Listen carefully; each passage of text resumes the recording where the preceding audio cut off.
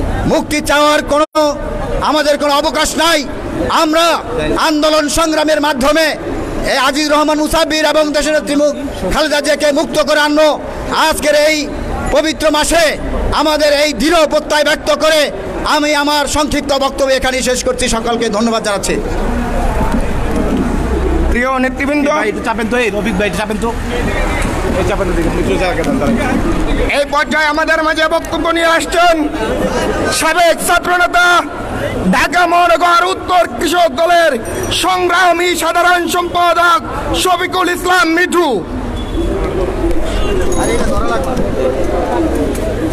বিসমিল্লাহ রহমান রহিম।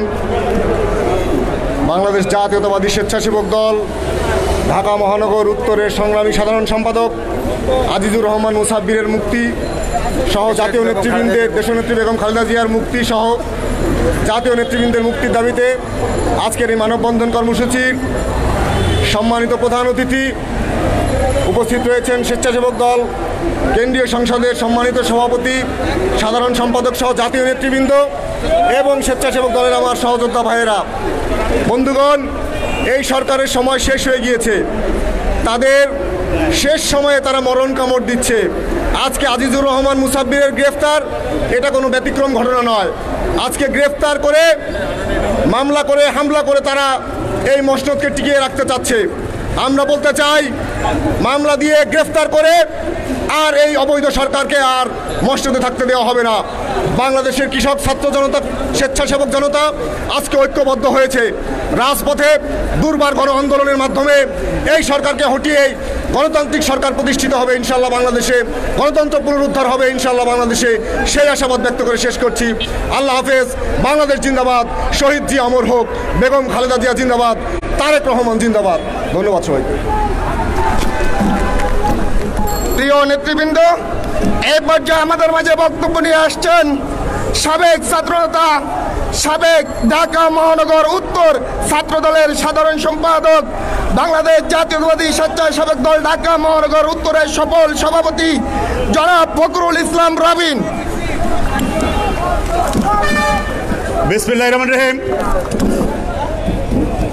BNP chairperson দেশনেত্রী বেগম খালেদা জিয়া এবং ঢাকা মহানগর উত্তর স্বেচ্ছাসেবক দলের সংগ্রামী সাধারণ সম্পাদক জননেতা আজিজুর রহমান মুসাফির সহ রাজবন্দীদের মুক্তির দাবিতে জাতীয়তাবাদী স্বেচ্ছাসেবক দল ঢাকা মহানগর উত্তরের আজকের এই মানববন্ধনের সভাপতি, স্বেচ্ছাসেবক দল ঢাকা মহানগর উত্তরের সংগ্রামী সভাপতি সাবেক ছাত্রনেতা গাজী রাজন হোসেন রিয়াজ, আমাদের মাঝে উপস্থিত আজকের এই মানববন্ধনের প্রধান অতিথি, নোয়াখালী থেকে নির্বাচিত, পরপর পাঁচবার নির্বাচিত সাবেক সংসদ সদস্য, সাবেক বিরোধী দলীয় চিফ হুইপ, বিএনপি চেয়ারপারসনের উপদেষ্টা পরিষদের অন্যতম সদস্য, নন্দিত জননেতা জনাব জয়নাল আবেদিন ফারুক ভাই, আমাদের মাঝে উপস্থিত ঢাকা মহানগর উত্তর বিএনপির সংগ্রামী সদস্য সচিব, বাংলাদেশ জাতীয় ফুটবল দলের সাবেক অধিনায়ক, অধি- সাবেক গোলরক্ষক, কৃতি ফুটবলার আমিনুল হক সহ ঢাক, জাতীয়বাদী স্বেচ্ছাসেবক দল, কেন্দ্রীয় সংসদের